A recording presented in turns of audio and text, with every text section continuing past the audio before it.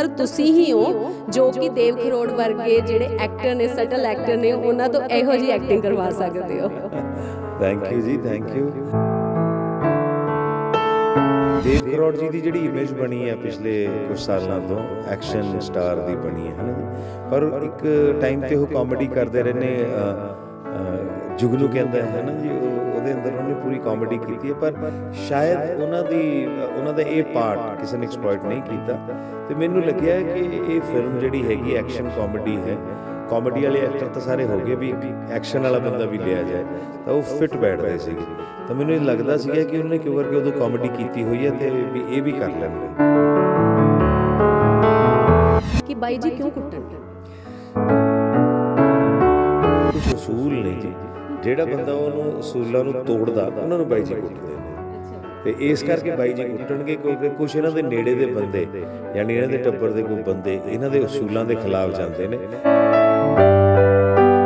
ਕਿ ਮੈਂ ਇਸ ਲਾਈਨ 'ਚ ਕੁਝ ਕਰਾਂ। ਤਾਂ ਮੇਰੇ ਪੇਰੈਂਟਸ ਮੈਨੂੰ ਕਹਿੰਦੇ ਸੀ ਕਿ ਵੀ ਇਹ ਲਾਈਨ ਬੜੀ ਇਨਸਿਕਿਉਰ ਲਾਈਨ ਹੈ। ਵੀ ਇਹ ਸ਼ੋਰ ਨਹੀਂ ਹੈ ਕਿ ਅੱਜ ਤੁਹਾਡੇ ਕੋਲ ਕੰਮ ਆ ਕੱਲ ਨਹੀਂ ਹੈ ਵੀ ਇਹ ਜਵਾਨੀ ਦੀ ਲਾਈਨ ਹੈ ਵੀ ਜਦ ਤੱਕ ਤੁਸੀਂ ਜਵਾਨ ਹੋ ਤਦ ਕੰਮ ਆ, ਉਸ ਤੋਂ ਬਾਅਦ ਪਤਾ ਨਹੀਂ ਕੀ ਕਰੋਗੇ ਐਕਟਿੰਗ ਦੀ ਗੱਲ ਕਰਦਾ ਤਾਂ ਪੇਰੈਂਟਸ ਕਹਿੰਦੇ ਸੀ ਇਹਨੂੰ ਐਸ ਹੌਬੀ ਟ੍ਰੀਟ ਕਰੋ ਕੰਮ ਕੋਈ ਹੋਰ ਕਰੋ। ਮੈਂ ਇੰਜੀਨੀਅਰਿੰਗ ਕੀਤੀ ਕੈਮੀਕਲ ਇੰਜੀਨੀਅਰਿੰਗ ਕੀਤੀ ਇਸ ਡਰ ਕਰਕੇ ਕਿ ਮੇਰੇ ਪੇਰੈਂਟਸ ਕਹਿੰਦੇ ਨੇ ਵੀ ਸਿਕਿਉਰ ਲਾਈਨ ਨਹੀਂ ਹੈ। ਪਾਸਟਾ ਮੈਡਮ ਆਪਣੇ ਬੱਚੇ ਨੂੰ ਇੰਟਰੋਡਿਊਸ ਕਰ ਰਹੇ ਹੈ। 96 ਦੇ ਅੰਦਰ ਕੋਈ ਪੰਜਾਬੀ ਬੰਦਾ ਦਿਖਾ ਦਿਓ ਜਿਹੜਾ ਆਪਣੇ ਬੱਚੇ ਨੂੰ ਇੰਟਰੋਡਿਊਸ ਕਰ ਰਿਹਾ ਹੈ ਕੋਈ ਕਰਦੇ ਨਹੀਂ ਸੀ। ਕਿਉਂ ਕਰਕੇ ਲਾਈਨ ਉਹ ਨਹੀਂ ਸੀ? ਸੋ ਬਹੁਤ ਫ਼ਰਕ ਆ। ਅੱਜ ਇਹ ਇੱਕ ਸੋਸ਼ਲੀ ਐਕਸੈਪਟੇਬਲ ਪ੍ਰੋਫੈਸ਼ਨ ਬਣ ਚੁੱਕਿਆ ਪਰ ਇੱਕ ਕੰਟਰੋਵਰਸੀ ਕਹਿ ਲਓ ਨਾ ਕਿ ਮੂਵੀ ਤੇ ਆਉਣ ਤੋਂ ਪਹਿਲਾਂ ਹੀ ਜੁੜ ਗਈ ਉਹਦੇ ਨਾਲ। ਕੋਈ ਫ਼ਰਕ ਪਏਗਾ? ਫ਼ਰਕ ਮੂਵੀ ਤੇ ਤਾਂ ਨਹੀਂ ਪਊਗਾ ਜੀ ਕਿ ਤੁਸੀਂ ਮੂਵੀ ਨੇ ਜੇ ਜਿੰਨਾ ਬਿਜ਼ਨਸ ਕਰਨਾ, ਉਹਨਾਂ ਬਿਜ਼ਨਸ ਤਾਂ ਉਹ ਕਰ ਹੀ ਲਓ ਬਟ ਯੈਸ ਜੇ ਤੁਸੀਂ ਇਹ ਗੱਲ ਕਰੋ, ਇੱਕ ਪ੍ਰੋਡਿਊਸਰ ਆਰਟਿਸਟ ਦੇ ਅੰਦਰ, ਉਹ ਤਾਂ ਠੀਕ ਨਹੀਂ ਹੋਇਆ। ਬਟ ਮੂਵੀ ਤੇ ਅਸਰ ਨਹੀਂ ਪਿਆ। ਮੂਵੀ ਨੇ ਮੂਵੀ ਨੇ ਜਿੰਨਾ ਵਰਕ ਕਰਨਾ, ਉਹ ਤਾਂ ਉਸ ਤੇ ਕਰਨਾ ਕਿ ਉਹ ਕਿਹੋ ਜਿਹੀ ਲੋਕਾਂ ਨੂੰ ਲੱਗਦੀ ਹੈ। ਤੇ ਉਹ ਤਾਂ ਹਰਨਾਸ ਸੰਧੂ ਨੇ ਫਿਲਮ ਕੰਮ ਕੀਤਾ ਹੀ ਹੈ ਉਹ ਤਾਂ ਦੇਖ ਕੇ ਲੋਕਾਂ ਨੂੰ ਪਸੰਦ ਆਊਗਾ ਜਾਂ ਨਾ ਪਸੰਦ ਆਊਗਾ ਫਿਲਮ ਪਸੰਦ ਆਊਗੀ ਜਾਂ ਨਾ ਪਸੰਦ ਆਊਗੀ, ਉਹ ਤੇ ਡਿਪੈਂਡ ਕਰਦਾ ਉਹਦਾ ਬਿਜ਼ਨਸ ਅਦਰਵਾਈਜ਼ ਕੰਟਰੋਵਰਸੀ ਕਰਕੇ ਫਿਲਮ ਦਾ ਫਲॉप ਜਾਂ ਹਿੱਟ ਨਹੀਂ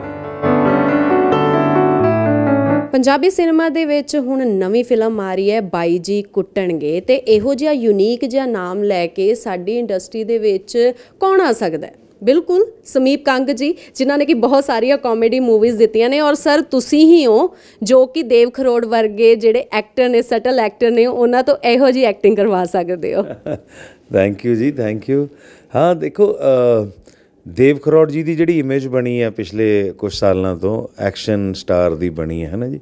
ਪਰ ਇੱਕ ਟਾਈਮ ਤੇ ਉਹ ਕਾਮੇਡੀ ਕਰਦੇ ਰਹਿੰਦੇ ਜੁਗਨੂ ਕਹਿੰਦਾ ਹੈ ਨਾ ਜੀ? ਉਹ, ਉਹਦੇ ਅੰਦਰ ਉਹਨੇ ਪੂਰੀ ਕਾਮੇਡੀ ਕੀਤੀ ਹੈ ਪਰ ਸ਼ਾਇਦ ਉਹਨਾਂ ਦੀ, ਉਹਨਾਂ ਦਾ ਇਹ ਪਾਰਟ ਕਿਸੇ ਨੇ ਐਕਸਪਲੋਇਟ ਨਹੀਂ ਕੀਤਾ। ਤੇ ਮੈਨੂੰ ਲੱਗਿਆ ਕਿ ਇਹ ਫਿਲਮ ਜਿਹੜੀ ਹੈਗੀ ਐਕਸ਼ਨ ਕਾਮੇਡੀ ਹੈ ਕਾਮੇਡੀ ਵਾਲੇ ਐਕਟਰ ਤਾਂ ਸਾਰੇ ਹੋ ਗਏ ਵੀ ਐਕਸ਼ਨ ਵਾਲਾ ਬੰਦਾ ਵੀ ਲਿਆ ਜਾਏ ਤਾਂ ਉਹ ਫਿੱਟ ਬੈਠਦੇ ਸੀਗੇ। ਤਾਂ ਮੈਨੂੰ ਇਹ ਲੱਗਦਾ ਸੀਗਾ ਕਿ ਉਹਨਾਂ ਨੇ ਕਿਉਂ ਕਰਕੇ ਉਦੋਂ ਕਾਮੇਡੀ ਕੀਤੀ ਹੋਈ ਹੈ ਤੇ ਵੀ ਇਹ ਵੀ ਕਰ ਲੈਣਗੇ। ਸੋ ਸਰ ਅਗਲਾ ਮੇਰਾ ਸਵਾਲ ਹੈ ਬੜਾ ਸੀਰੀਅਸ ਸਵਾਲ ਹੈ ਕਿ ਬਾਈ ਜੀ ਕਿਉਂ ਕੁੱਟਣਗੇ? ਬਾਈ ਜੀ ਦੀ ਕੁਝ ਅਸੂਲ ਨੇ ਜੀ। ਜਿਹੜਾ ਬੰਦਾ ਉਹਨੂੰ ਅਸੂਲਾਂ ਨੂੰ ਤੋੜਦਾ ਉਹਨਾਂ ਨੂੰ ਬਾਈ ਜੀ ਕੁੱਟਦੇ ਨੇ। ਅੱਛਾ ਜੀ। ਤੇ ਇਸ ਕਰਕੇ ਬਾਈ ਜੀ ਕੁੱਟਣਗੇ ਕਿਉਂਕਿ ਕੁਝ ਇਹਨਾਂ ਦੇ ਨੇੜੇ ਦੇ ਬੰਦੇ ਯਾਨੀ ਇਹਨਾਂ ਦੇ ਟੱਬਰ ਦੇ ਕੋਈ ਬੰਦੇ ਇਹਨਾਂ ਦੇ ਅਸੂਲਾਂ ਦੇ ਖਿਲਾਫ ਜਾਂਦੇ ਨੇ। ਪਰ ਉਹਨੂੰ ਪਤਾ ਨਹੀਂ ਲੱਗਣ ਦਿੰਦੇ ਕਿ ਅਸੀਂ ਤੁਹਾਡੇ ਅਸੂਲਾਂ ਦੇ ਖਿਲਾਫ ਗਏ ਆ ਇਹਨਾਂ ਨੂੰ ਇਹ ਡਰ- ਕਿ ਜਿੱਦਣ ਫੜੇ ਗਏ ਉਦੋਂ ਬਾਈ ਜੀ ਕੁੱਟਣਗੇ। ਸੋ ਸਮੀਪ ਜੀ ਅਸੀਂ ਗੱਲ ਕਰਦੇ ਹਾਂ ਕਿ ਜਦੋਂ ਵੀ ਪੰਜਾਬੀ ਇੰਡਸਟਰੀ ਦੇ ਵਿੱਚ ਕਾਮੇਡੀ ਮੂਵੀਜ਼ ਦਾ ਨਾਮ ਆਉਂਦਾ ਹੈ ਤਾਂ ਤੁਹਾਡਾ ਨਾਮ ਸਭ ਤੋਂ ਅੱਗੇ ਆਉਂਦਾ ਹੈ ਕਿ ਬਹੁਤ ਹੀ ਜ਼ਿਆਦਾ ਹਿੱਟ ਮੂਵੀਜ਼ ਤੁਸੀਂ ਦਿੱਤੀਆਂ ਨੇ।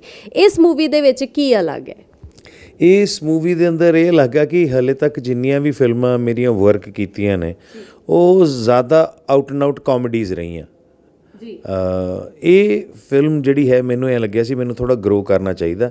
ਵੀ ਆਪਣੀ ਕਾਮੇਡੀ ਦੇ ਨਾਲ ਨਾਲ ਮੈਂ ਕੀ ਇਹੋ ਜਿਹਾ ਕੁਝ ਐਡ ਕਰ ਸਕਦਾ ਜਿਹੜੀ ਪਿਛਲੀਆਂ ਪਿਕਚਰਾਂ ਤੋਂ ਵੱਖਰੀ ਲੱਗੇ ਇਹ ਪਿਕਚਰ ਤੋਂ ਐਕਸ਼ਨ ਐਡ ਕੀਤਾ ਜੀ। ਤੋਂ ਇਹ ਹੁਣ ਇੱਕ ਪੂਰੀ ਮਾਸ ਐਂਟਰਟੇਨਰ ਆ। ਵੀ ਤੁਹਾਨੂੰ ਸਵਾਦ ਆਊਗਾ 2 ਘੰਟੇ ਦੇਖ ਕੇ ਤੇ ਉਹੀ ਡਿਫਰੈਂਟ ਹੈਗਾ ਪਿਛਲੀਆਂ ਪਿਕਚਰਾਂ ਚੋਂ। ਕਾਮੇਡੀ ਤਾਂ ਹੈ ਹੀ ਹੈ ਪਰ ਇੱਕ ਐਕਸ਼ਨ ਦਾ ਤੜਕਾ ਵੀ ਹੈ। ਦੇਵ ਜੀ ਮੇਰੇ ਨਾਲ ਗੱਲ ਕਰ ਰਹੇ ਸੀ, ਉਹ ਕਹਿ ਰਹੇ ਸੀ ਕਿ ਸਾਡੇ ਪੰਜਾਬੀ ਇੰਡਸਟਰੀ ਨੂੰ ਜ਼ਰੂਰਤ ਹੈ ਹੁਣ ਕਿਸੇ ਹੋਰ ਸਿਖਰ ਤੇ ਲੈ ਕੇ ਜਾਣ ਦੀ। ਸੋ ਕੀ ਕੁਝ ਪਲਾਨਸ ਹੈਗੇ ਨੇ? ਦੇਖੋ ਅਸੀਂ ਪਲਾਨ ਬਣਾਉਣ ਵਾਲੇ ਕੌਣ ਹੈ ਨਾ ਜੀ? ਮੈਂ ਮਤਲਬ ਇੱਕ ਇਹ ਹੈ ਕਿ ਫਿਲਮਸ ਬਣਾਈ ਜਾਓ ਜੀ।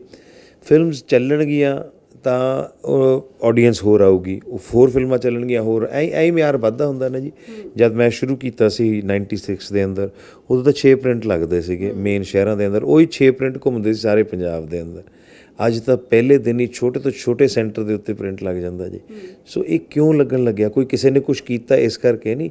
ਬਿਜ਼ਨਸ ਗਰੋ ਕੀਤਾ ਤਾਂ ਮਿਆਰ ਗਰੋ ਕੀਤਾ ਜੀ। ਬਿਲਕੁਲ ਪੰਜਾਬੀ ਇੰਡਸਟਰੀ ਦੀ ਜੇ ਗੱਲ ਕਰੀਏ ਤਾਂ ਬਿਜ਼ਨਸ ਬਹੁਤ ਜ਼ਿਆਦਾ ਗਰੋ ਹੋਇਆ ਹੈ। ਇਹਦਾ ਪੰਜਾਬੀ ਇੰਡਸਟਰੀ ਬਹੁਤ ਟਾਈਮ ਦੇ ਨਾਲ ਗਰੋ ਹੋਈ ਹੈ। ਤੁਸੀਂ ਤਾਂ ਕਾਫੀ ਪੁਰਾਣੇ ਸਮੇਂ ਤੋਂ ਇਸ ਇੰਡਸਟਰੀ ਦੇ ਨਾਲ ਜੁੜੇ ਹੋਏ ਹੋ। ਪਰ ਅੱਜ ਜਿਹੜਾ ਮੌਕਾ ਮਿਲ ਰਿਹਾ ਹੈ ਆਮ ਥੀਏਟਰ ਆਰਟਿਸਟ ਨੂੰ ਬੜਾ ਮੌਕਾ ਮਿਲ ਰਿਹਾ ਹੈ। ਕੀ ਕਹਿਣਾ ਚਾਹੋਗੇ? ਪੰਜਾਬੀ ਇੰਡਸਟਰੀ ਕਿੰਨੀ ਕੁ ਬਦਲ ਗਈ ਹੈ? ਬਹੁਤ ਬਦਲ ਗਈ ਹੈ। ਐਟੀਟਿਊਡ ਹੀ ਬਦਲ ਗਿਆ। ਮੇਰੇ ਵੇਲੇ ਐਟੀਟਿਊਡ ਇਹ ਹੁੰਦਾ ਸੀ, ਅਸੀਂ, ਮੈਨੂੰ ਯਾਦ ਆ, ਮੈਂ, ਮੇਰਾ ਮਨ ਕਰਦਾ ਸੀ ਕਿ ਮੈਂ ਇਸ ਲਾਈਨ 'ਚ ਕੁਝ ਕਰਾਂ। ਤਾਂ ਮੇਰੇ ਪੇਰੈਂਟਸ ਮੈਨੂੰ ਕਹਿੰਦੇ ਸੀ ਕਿ ਵੀ ਇਹ ਲਾਈਨ ਬੜੀ ਇਨਸਿਕਿਉਰ ਲਾਈਨ ਆ। ਵੀ ਇਹ ਸ਼ੋਰ ਨਹੀਂ ਹੈ ਕਿ ਅੱਜ ਤੁਹਾਡੇ ਕੋਲ ਕੰਮ ਆ ਕੱਲ ਨਹੀਂ ਹੈ ਵੀ ਇਹ ਜਵਾਨੀ ਦੀ ਲਾਈਨ ਆ ਵੀ ਜਦ ਤੱਕ ਤੁਸੀਂ ਜਵਾਨ ਹੋ ਤਾਂ ਕੰਮ ਉਸ ਤੋਂ ਬਾਅਦ ਪਤਾ ਨਹੀਂ ਕੀ ਕਰੋਗੇ ਐਕਟਿੰਗ ਦੀ ਗੱਲ ਕਰਦਾ ਮੈਂ। ਤਾਂ ਪੇਰੈਂਟਸ ਕਹਿੰਦੇ ਸੀ ਇਹਨੂੰ ਐਸ ਹੌਬੀ ਟਰੀਟ ਕਰੋ ਕੰਮ ਕੋਈ ਹੋਰ ਕਰੋ। ਮੈਂ ਇੰਜੀਨੀਅਰਿੰਗ ਕੀਤੀ ਕੈਮੀਕਲ ਇੰਜੀਨੀਅਰਿੰਗ ਕੀਤੀ ਇਸ ਡਰ ਕਰਕੇ ਕਿ ਮੇਰੇ ਪੇਰੈਂਟਸ ਕਹਿੰਦੇ ਨੇ ਵੀ ਇਹ ਸਿਕਿਉਰ ਲਾਈਨ ਨਹੀਂ ਹੈ। ਇਹ ਮੇਰੇ ਵੇਲੇ ਦੀ ਗੱਲ ਆ। ਮੈਂ ਗੱਲ ਕਰ ਰਿਹਾ 95 96 94 ਉਸ ਟਾਈਮ 90s ਦੀ ਮਿਡ 90s ਦੀ। ਅੱਜ ਪੇਰੈਂਟਸ ਮੇਰੇ ਕੋਲ ਬੱਚੇ ਲੈ ਕੇ ਆਉਂਦੇ ਨੇ। ਕਿ ਜੀ ਸਾਡੇ ਬੱਚੇ ਨੂੰ ਇੰਟਰੋਡਿਊਸ ਕਰੋ ਸਾਡੇ ਪਿਕਚਰ ਹੈ ਨਾ ਅਸੀਂ ਆਪਣੇ ਬੱਚੇ ਦੀ ਆਈ ਪਿਕਚਰ ਦੀ ਗੱਲ ਕਰ ਲਓ ਬਾਈ ਜੀ ਕੁੱਟਣਗੇ। ਉਪਾਸਨਾ ਮੈਡਮ ਆਪਣੇ ਬੱਚੇ ਨੂੰ ਇੰਟਰੋਡਿਊਸ ਕਰ ਰਹੇ ਆ। 96 ਦੇ ਅੰਦਰ ਕੋਈ ਪੰਜਾਬੀ ਬੰਦਾ ਦਿਖਾ ਦਿਓ ਜਿਹੜਾ ਆਪਣੇ ਬੱਚੇ ਨੂੰ ਇੰਟਰੋਡਿਊਸ ਕਰ ਰਿਹਾ ਹੋਵੇ। ਕੋਈ ਕਰਦਾ ਹੀ ਨਹੀਂ ਸੀਗਾ ਜੀ। ਕਿਉਂ ਕਰਕੇ ਲਾਈਨ ਉਹ ਨਹੀਂ ਸੀ? ਸੋ ਬਹੁਤ ਫ਼ਰਕ ਆ। ਅੱਜ ਇਹ ਇੱਕ ਸੋਸ਼ਲੀ ਐਕਸੈਪਟੇਬਲ profession ਬਣ ਚੁੱਕਿਆ। ਅੱਜ ਮੈਂ ਮੇਰਾ ਬੇਟਾ ਕੱਲ ਨੂੰ ਜੇ ਕਹੂਗਾ ਕਿ ਜੀ ਮੈਂ ਡਾਇਰੈਕਟਰ ਬਣਨਾ। ਤੇ ਮੇਰੇ ਲਈ ਕੋਈ ਮੈਨੂੰ ਕੋਈ ਇਹ ਨਹੀਂ ਹੋਊਗਾ ਕਿ ਵੀ ਵੀ ਇਹ ਕਿਉਂ ਕਰ ਰਿਹਾ ਜਾਂ ਕਿਉਂ ਬਣਨਾ ਚਾਹੁੰਦਾ। ਅੱਜ ਮੈਨੂੰ ਲੱਗਦਾ ਕਿ ਯਾਰ ਮੈਂ ਵੀ ਤਾਂ ਹੈਗਾ ਤਾਂ ਮੈਂ ਵੀ ਇਹਨੂੰ ਇੱਕ ਜੌਬ ਹੀ ਟਰੀਟ ਕਰਦਾ। ਮੇਰੇ ਲਈ ਇੱਕ ਜੌਬ ਆ ਉਵੇਂ ਮੇਰੇ ਬੇਟੇ ਲਈ ਇੱਕ ਜੌਬ ਹੋਊਗੀ। ਹਾਂ। ਆਪਣੀ ਬੇਸਿਕ ਐਜੂਕੇਸ਼ਨ ਜ਼ਰੂਰ ਕੰਪਲੀਟ ਕਰੋ ਤੇ ਉਸ ਤੋਂ ਬਾਅਦ ਇੱਕ ਬਹੁਤ ਵੱਡਾ ਫ਼ਰਕ ਆ ਜਿਹੜਾ ਮੈਂ ਫੀਲ ਕੀਤਾ ਕਿ ਸੋਸ਼ਲੀ ਐਕਸੈਪਟੇਬਲ profession ਬਣ ਗਿਆ ਹੁਣ ਇਹ। ਜੀ। ਬਿਲਕੁਲ ਇਹ ਇਕੱਲਾ ਐਕਟਰ ਤੇ ਡਾਇਰੈਕਟਰ ਲਈ ਨਹੀਂ ਇਸ ਦੇ ਨਾਲ ਬਹੁਤ ਸਾਰੇ profession ਜੁੜੇ ਹੁੰਦੇ ਆ ਮੇਕਅਪ ਜੁੜਿਆ ਹੁੰਦਾ ਆ ਤਾਂ ਬਿਲਕੁਲ ਲਾਈਟਿੰਗ ਵਾਲਾ ਅਲੱਗ-ਅਲੱਗ ਔਰ ਬਹੁਤ ਸਾਰੇ ਲੋਕਾਂ ਨੂੰ ਕੰਮ ਦਿੰਦੀ ਹੈ film industry Punjabi film industry ਦੇ ਵਿੱਚ ਬਹੁਤ ਜ਼ਿਆਦਾ ਉਭਾਰ ਆਇਆ ਤਾਂ ਹੋਪਸ ਹੋ ਕਿ ਅੱਗੇ ਵੀ ਬਹੁਤ ਜ਼ਿਆਦਾ ਉਭਾਰ ਆਏਗਾ। ਸੋ ਮੂਵੀ ਤੇ ਆਨੇ ਆ ਤੇ ਮੂਵੀ ਦੇ ਵਿੱਚ ਬਹੁਤ ਨਵੇਂ ਕਲਾਕਾਰ ਵੇਖਣ ਨੂੰ ਮਿਲ ਰਹੇ ਨੇ।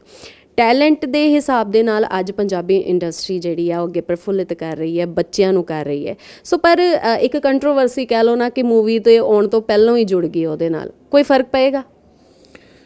ਫ਼ਰਕ ਮੂਵੀ ਤੇ ਤਾਂ ਨਹੀਂ ਪਊਗਾ ਜੀ ਕਿ ਜੇ ਤੁਸੀਂ ਮੂਵੀ ਨੇ ਜੇ ਜਿੰਨਾ ਕੁ ਬਿਜ਼ਨਸ ਕਰਨਾ ਉਹਨਾਂ ਬਿਜ਼ਨਸ ਤਾਂ ਕਰ ਹੀ ਲਓ। ਬਟ ਯੈਸ ਜੇ ਤੁਸੀਂ ਇਹ ਗੱਲ ਕਰੋ ਇੱਕ ਪ੍ਰੋਡਿਊਸਰ ਆਰਟਿਸਟ ਦੇ ਅੰਦਰ ਉਹ ਤਾਂ ਠੀਕ ਨਹੀਂ ਹੋਇਆ। ਬਟ ਮੂਵੀ ਤੇ ਅਸਰ ਨਹੀਂ ਪਊਗਾ। ਕੋਈ ਮੂਵੀ ਨੇ ਮੂਵੀ ਨੇ ਜਿੰਨਾ ਵਰਕ ਕਰਨਾ ਉਹ ਉਹ ਤਾਂ ਉਸ ਤੇ ਕਰਨਾ ਕਿ ਉਹ ਕਿਹੋ ਜੀ ਲੋਕਾਂ ਨੂੰ ਲੱਗਦੀ ਆ। ਤੇ ਉਹ ਤਾਂ ਹਰਨਾਸ ਸੰਧੂ ਨੇ ਫਿਲਮ ਕੰਮ ਕੀਤਾ ਹੀ ਆ। ਉਹ ਤਾਂ ਦੇਖ ਕੇ ਲੋਕਾਂ ਨੂੰ ਪਸੰਦ ਆਊਗਾ ਜਾਂ ਨਾ ਪਸੰਦ ਆਊਗਾ ਫਿਲਮ ਪਸੰਦ ਆਊਗੀ ਜਾਂ ਨਾ ਪਸੰਦ ਆਊਗੀ ਉਹ ਤੇ ਡਿਪੈਂਡ ਕਰਦਾ ਉਹਦਾ ਬਿਜ਼ਨਸ ਅਦਰਵਾਈਜ਼ ਕੰਟਰੋਵਰਸੀ ਕਰਕੇ ਫਿਲਮ ਦਾ ਫਲॉप ਜਾਂ ਹਿੱਟ ਨਹੀਂ ਹੁੰਦਾ। ਸੋ ਪੰਜਾਬੀ ਇੰਡਸਟਰੀ ਦੇ ਵਿੱਚ ਮੈਨੂੰ ਲੱਗਦਾ ਜਿਵੇਂ ਕਿ ਮੇਰਾ ਇਹ ਰਿਵਿਊ ਹੈ ਕਿ ਮੈਨੂੰ ਟ੍ਰੇਲਰ ਬਹੁਤ ਅੱਛਾ ਲੱਗਾ। ਮੈਨੂੰ ਲੱਗਾ ਕਿ ਕੁਝ ਡਿਫਰੈਂਟ ਦੇਖਣ ਨੂੰ ਮਿਲੋਗੇ। ਕਾਫੀ ਟਾਈਮ ਤੋਂ ਸੇਮ ਟੇਸਟ ਆ ਰਿਹਾ। ਸੋ ਮੈਨੂੰ ਲੱਗਦਾ ਕਿ ਜਨਤਾ ਜਿਹੜੀ ਹੈ ਕਿ ਹੁਣ ਕੁਝ ਡਿਫਰੈਂਟ ਦੇਖਣਾ ਚਾਹੁੰਦੀ ਹੈ। ਡਰਾਮਾ ਐਕਸ਼ਨ ਤੇ ਨਾਲ ਕਾਮੇਡੀ ਹੈ ਨਾ?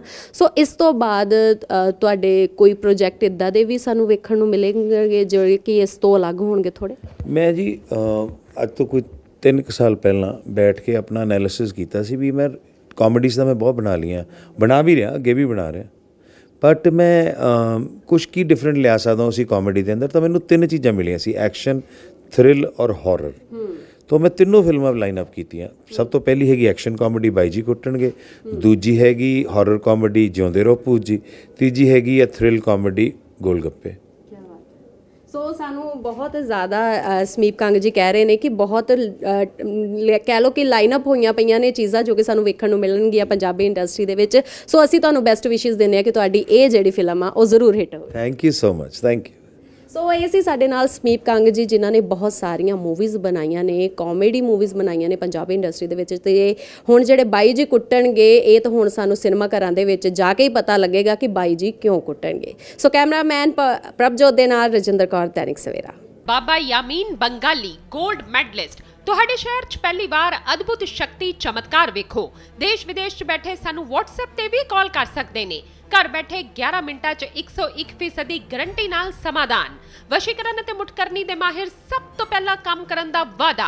ਨੌਕਰੀ, ਪ੍ਰਮੋਸ਼ਨ, ਕਾਰੋਬਾਰ 'ਚ ਪਰੇਸ਼ਾਨੀ, ਘਰ 'ਚ ਝਗੜਾ, ਬਰਕਤ, ਔਲਾਦ ਕਿਹੜੇ ਤੋਂ ਬਾਹਰ ਹੋਣਾ? ਕੋਰਟ ਕੇਸ, ਤਲਾਕ, ਪ੍ਰਾਪਰਟੀ ਡਿਸਪਿਊਟ, ਗੁਪਤ ਰੋਗ, ਪੁਰਾਣਾ ਦਰਦ ਪਤੀ ਪਤਨੀ ਚੰਬਨ ਜਾਦੂ ਟੋਣਾ, ਮਨਮੋਹਣੀ ਵਸ਼ੀਕਰਨ ਕਰਵਾਉਣਾ ਜਾਂ ਤੁੜਵਾਉਣਾ।